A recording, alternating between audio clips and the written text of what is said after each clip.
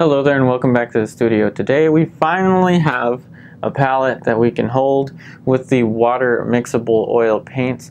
This is just a uh, very inexpensive acrylic um, acrylic handheld palette. What I did was I sanded it. So see how it, this used to be clear, but what I did was sand it. Uh, I kind of got that idea from Bob Ross. You know, like in Bob Ross's videos, he had an acrylic palette or some kind of plastic palette, and then he would sand it so that it wouldn't glare. But I also sanded the uh, corners of it just so it's a little more comfortable, like a little more smooth to hold. And so on the palette here we have titanium white, mixing white, burnt umber, burnt sienna, alizarin crimson, cadmium red, cadmium orange, cadmium yellow, yellow ochre, sap green, ultramarine blue, ivory black, and over here we have water uh, to clean out the brushes now and then. And over here in this, on the top of this little deli cup, we have our medium. And this is the medium that I like to use these days. Only my, my only complaint with this though is that it takes its sweet time to dry. So I had to put the painting in the car and it's summer over here so like I don't know like 90 degrees outside and keeping the painting in the car. Is really the only way to get the painting to dry uh, within at least a couple days. So again I do like the consistency of this medium the Holbein uh, Linseed Aqua Duo but I am going to be looking for uh, a more fast drying medium to use instead of this. And if you don't mind that the painting uh, your water mixable oil paint using that medium will take I don't know, at least four to five days to dry to the touch like this, then it's the perfect medium for you to use. But uh, for me, uh, the fact that it, I had to put it in the car for it to dry, especially when we got into the colors, was kind of not such a good thing. So I'm going to have the camera in this kind of angle, okay, so you can see the still life object and the painting at the same time. So now we are going to enter into the perceptual color stage. So that means that we're going to be looking at, um, you know, first it was the local color stage. Okay, these are very basic colors, but now we're going to look for more, um, you know, more elaborate colors. So let's see, hopefully you can see the, uh, the palette. So I'm going to use the cadmium red, and these are the same paints that I had by the way. I just uh, put them in the freezer. So I'm also testing out how these uh, water mixables work after being in the freezer for several days. So I see that I want a little more, let's see, more burnt sienna. And my theory is that, um, you know, if I keep them in the freezer long enough, they'll start drying a little bit, and then that'll actually speed up the drying time. I don't know, that's a theory. So a little bit more of the titanium white, little bit of the alizarin, sorry, the uh, ultramarine blue, mixing white. That's a little bit closer. And the reason I like to have a handheld palette as opposed to the, um, you know, the palette that I had before on the table, the glass palette is that I like to be able to hold it. Now I know you can't see it in the angle that I have you, but I like to be able to hold it and you know compare what I'm looking at to the color that I'm mixing. And I think it just it's a lot faster that I can you know move the palette around as opposed to having to always reach down and mix. But it's just my preference. Your preference could be different and that's okay. So it needs to be a little bit uh, more pink. Now I do think it's a it's probably a good idea to start to put in more values. So we're going to use the burnt umber, burnt sienna, a little bit of the ultramarine, ultramarine blue that is. And um, we're going to put some values here, okay, for the drapery, for the folds of the drapery. Now I do still think that I have it a little too bright.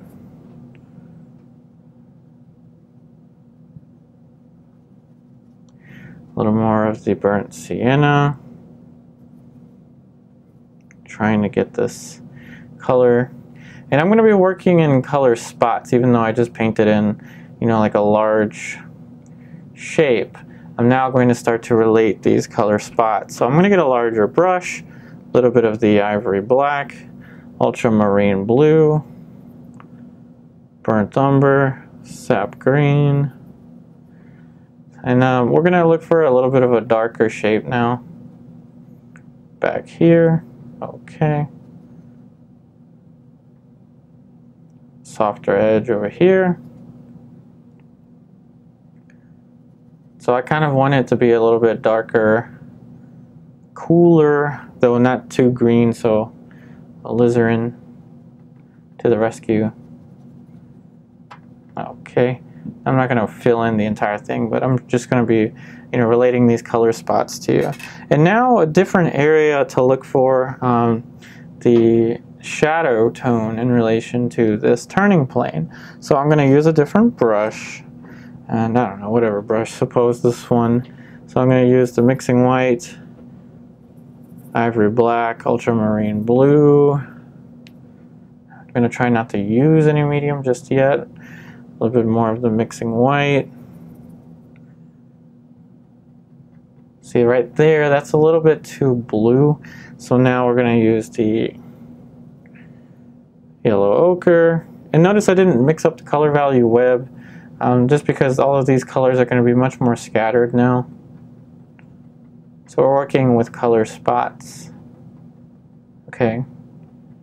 So now I have to really bounce my eyes back and forth. Now I think that that might be a little too light in value. So let's just use this one, a little bit of this. Okay, let's see. It's a little closer.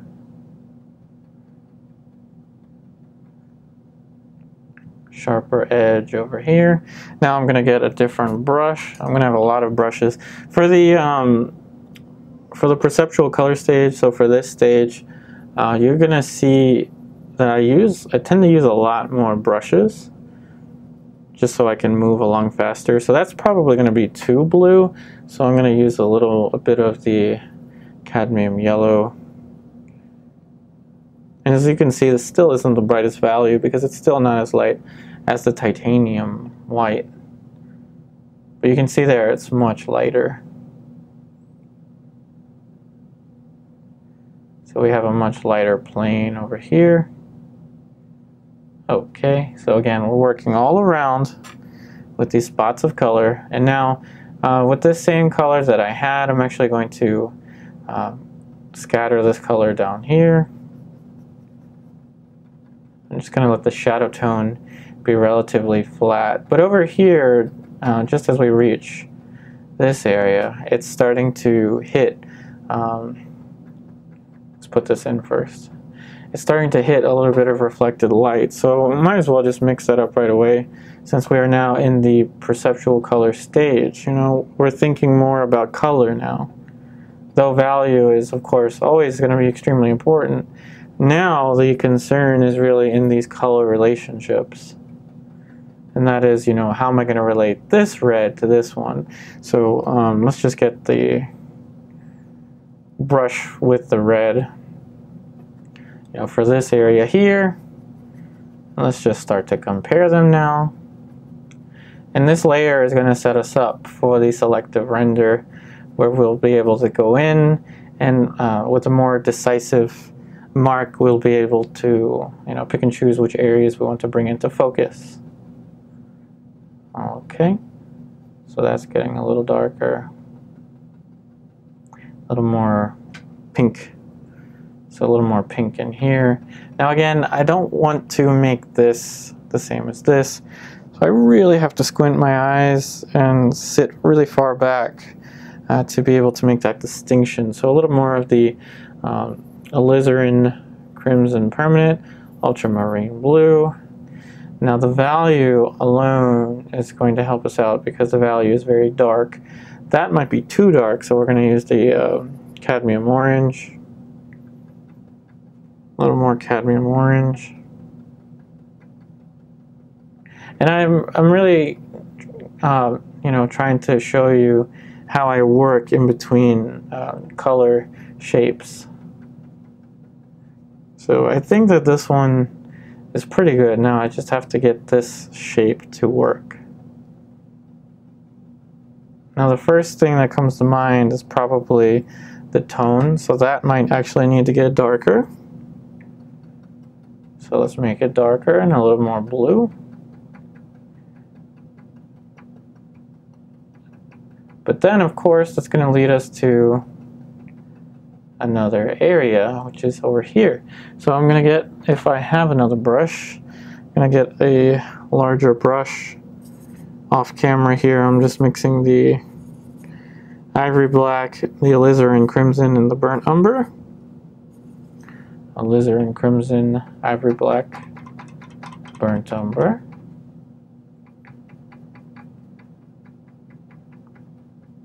Okay, a little more alizarin crimson.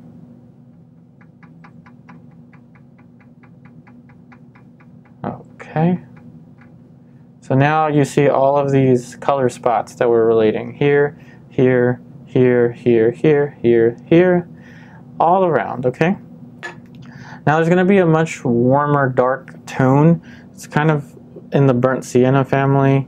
So burnt sienna, sap green, a little bit of the cadmium red. There we go.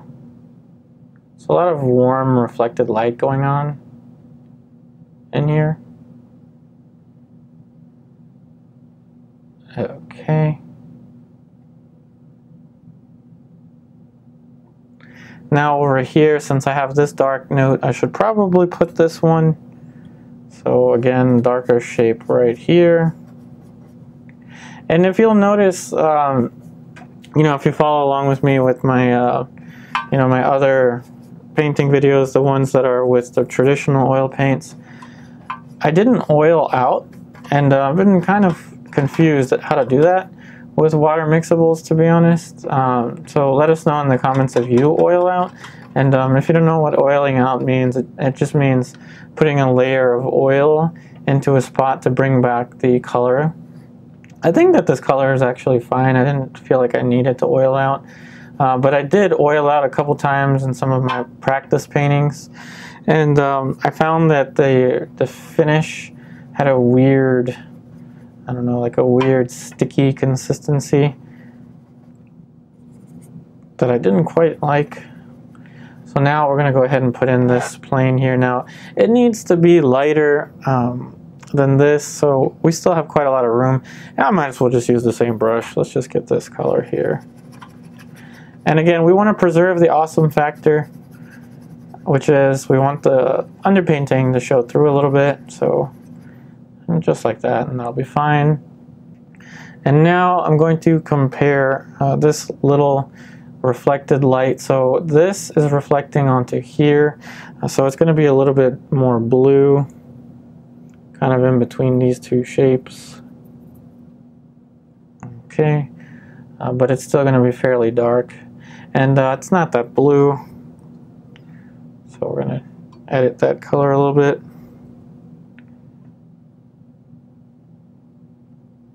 Go. A little bit cooler.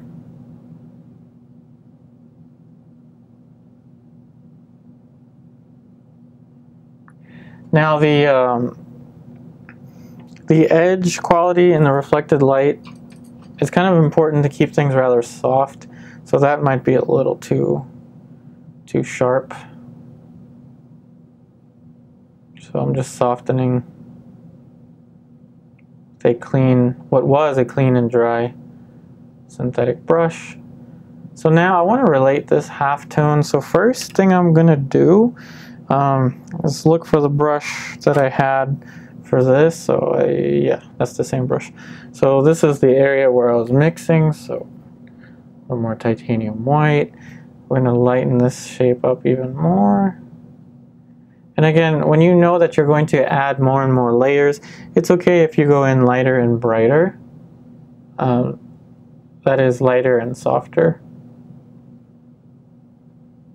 Alright, so now I see that this light plane is actually a little bit warmer in relation to this one. So I'm going to put a little bit of the uh, cadmium yellow, titanium white. The value is very similar, but the color is a little bit different. A little closer to the yellowish family. I don't know why I just put yellow ochre in there, but... Alright, so let's try this one out.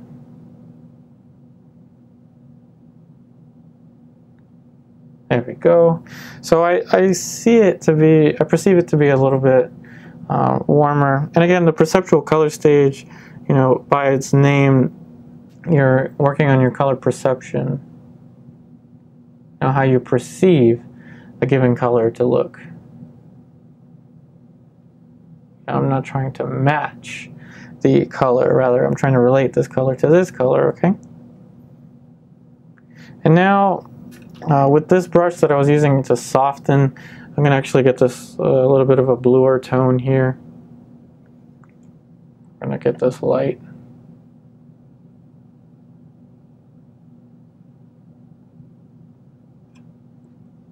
Now, as far as the still life object is concerned, um, I've been moving the still life around, like I didn't tape anything or anything like that. So I'm not really that, you know, concerned about it being in the same spot all the time. So I think that's good for that. Now let's go ahead and get a different brush if we have one. Uh, I think this one will do. So we're going to get a little bit of a kind of in between. So ultramarine blue, a little bit of this color here, some sap green. Okay, so that is a little too blue. So let's get some of the red here.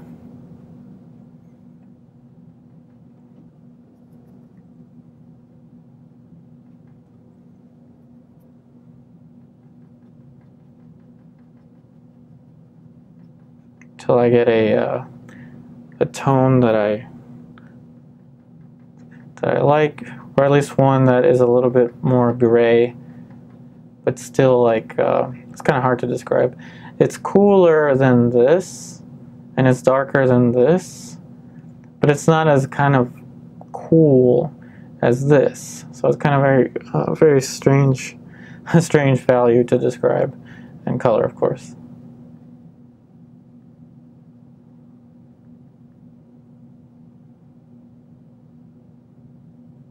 All right, so now I'm just going to, with the same brush, work up the value range only slightly. So now you'll see, hopefully, um, this is starting to get more realistic, so to speak, starting to have more volume.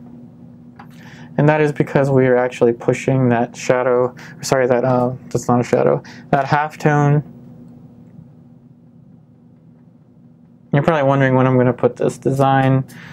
I don't know. I don't think I'm going to put it in this layer. I might let that be for the um, selective render.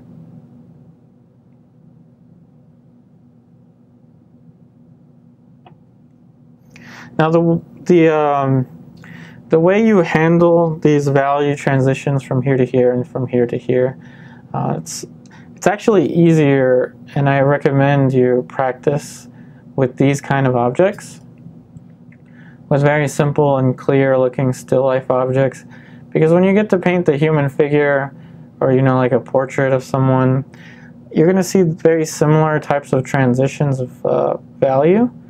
But you're going to then have the complexity of, you know, trying to get the likeness of the model and then all that stuff.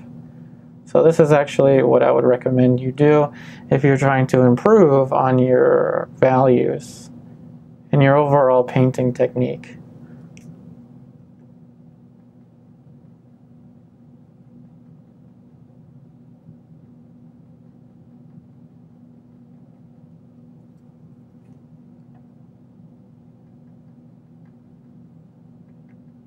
So I am kind of closing up the form here a little bit, meaning I'm applying the entire value range. But I'm not really trying to, you know, if I were trying to finish up the form, then this tone, I would definitely put more emphasis on that tone, which I probably will, maybe right about now. So I'm going to get a little bit of a in-between value. Just get this value over here.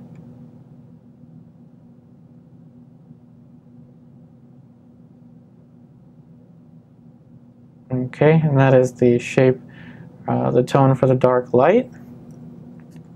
Now I'm going to use the light brush to help to uh, kind of blend, turn the form a little bit.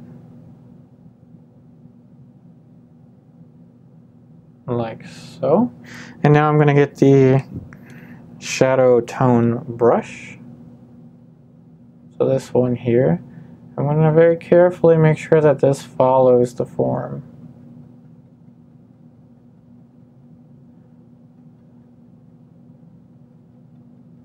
You know, what's going on here is much more important than what's going on there. So I'm applying much more of a conceptual, um, I'm, I'm using more concept-based tools right now than perceptual. Even though this is the perceptual color stage, I am trying to close up this curve a little bit. And then we'll start to relate some of these colors. And the reason that I'm closing up uh, the forms here is so that when we come back in the last stage, we'll be able to add on all of those little uh, nuance shapes or those little details. Even though, even though the word detail makes me cringe. Now I'm going to get another brush and just soften this edge.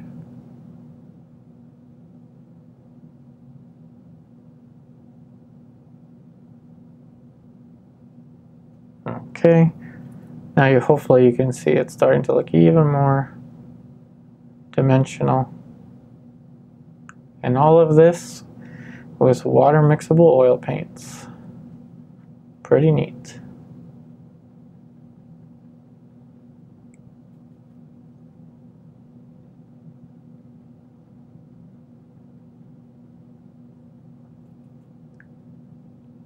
Definitely, definitely this edge. Almost forgot. We definitely want to soften this edge.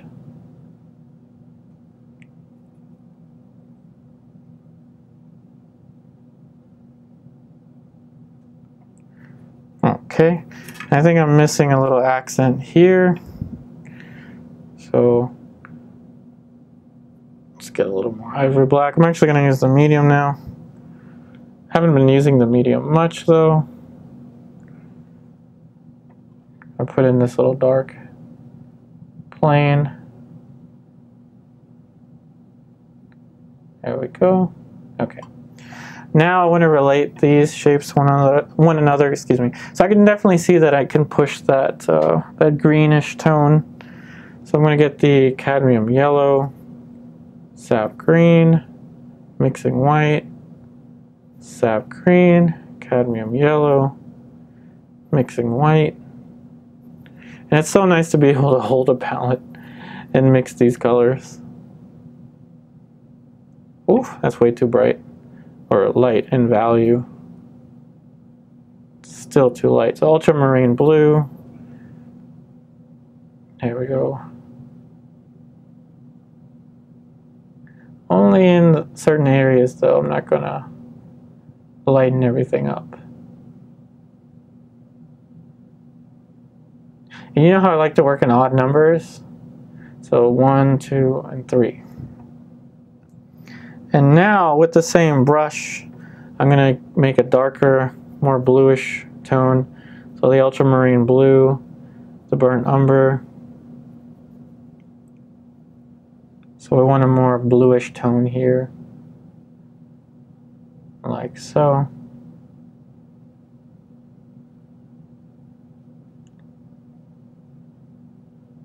Hopefully that gets the form to pop a little bit more. And now I see a very nice and you know distinct uh, scarlet color there. So I'm to actually have to clean off. Uh, nope, never mind. I do have a brush still. Still have a brush that I can use. Alright, so now let's get the cadmium orange, the mixing white.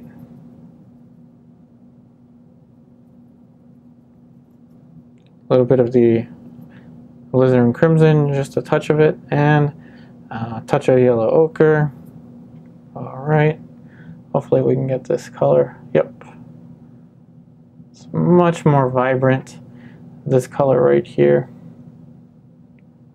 And then there's some darker, kind of more earthy pink colors. Burnt sienna. Not that dark though, so let's just use this. See how that goes. Yep. It's a little better. And I'm only going to put a few shapes there to help to put in the color variation. titanium white into this, cadmium yellow. I want it to be light, but it's nowhere near as light as this. Actually, it's pretty close, but it's not as light. A little bit lighter there. More of a light plane over here.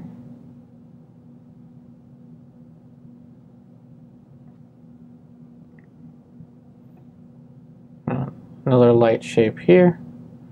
Okay, now what I'm going to do is get a larger brush and I'm going to fill in that dark mixture that we had. So this one for the background. Alright, now that we've painted in the background, I think that the um, this shape over here, I have a little too kind of like a generic red.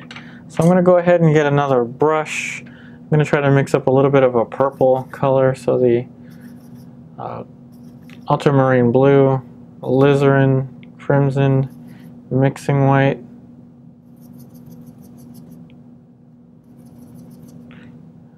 I'm to just tint it a little bit with the purple. Just kind of letting the, um, the paint mix with the layer that's already on here. And I did just flatten out that tone that I had before, and that's okay. I think that's a little closer actually now that we did that. I had to drop down the temperature. It was way too kind of generic, um, like a generic red.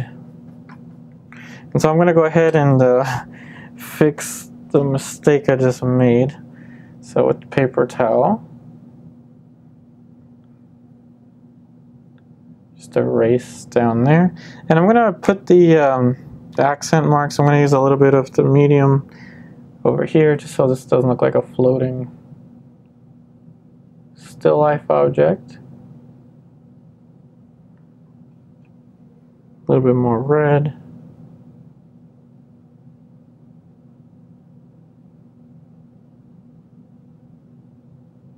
There we go. And of course these areas need to have a, a different color. So I'm going to clean this brush off with the water. Now we're going to get into the cadmium orange, all into here. I'm going to use a medium. So something that's a little bit more orangey. There we go. Gonna put in these little shapes, so a little more medium. See if we can add a glaze. I think we can actually glazing with water mixables? Is that a thing? I think it is. I'm curious to know how long this will take to dry now. So I'm pushing it a little bit warmer than I see there. Um, what I'm going to do is glaze the same color onto here. Whoops, need a little more medium so that glaze can work. All right, so now what I'm gonna do with the same brush, I'm just gonna clean it off with the water, trying to get all the water off. Titanium white, cadmium yellow. Want to push these highlights.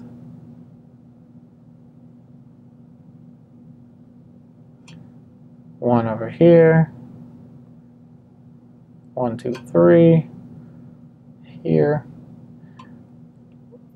A little more of a greenish tone. This highlight to me appears a little more kind of green.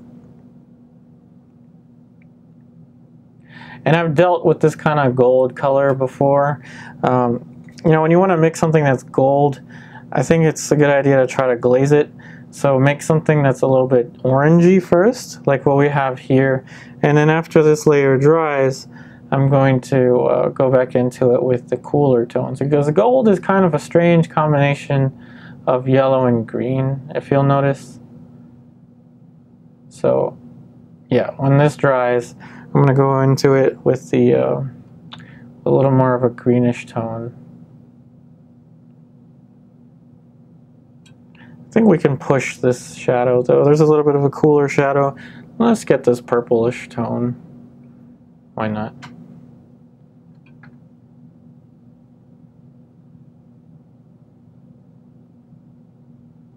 All into here.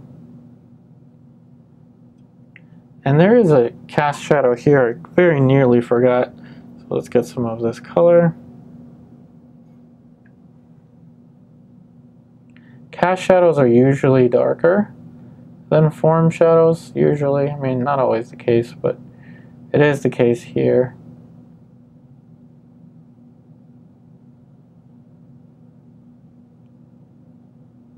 So again, this is a cast shadow. It's being casted from this area here. This area is lighter than this because this is the form shadow. And again, there's a cast shadow over here. But that edge is just bothering me. I think it's because I need to put a darker shape there. So burnt sienna, burnt umber, a little bit of the medium.